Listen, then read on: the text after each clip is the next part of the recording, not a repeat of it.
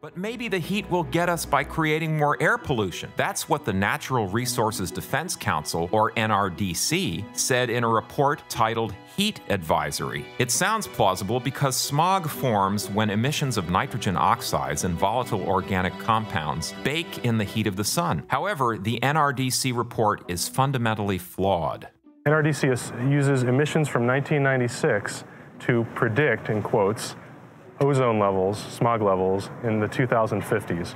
So we're already about 30% or more below the emissions of 1996, and emissions continue to drop because of fleet turnover to cleaner vehicles, because power plants are getting cleaner, uh, and most of those emissions are going to be gone in, in about 20 years. And by the 2050s, there's going to be hardly any air pollution in the air. But NRDC assumes that we're going to have 1996 emissions levels in 2050.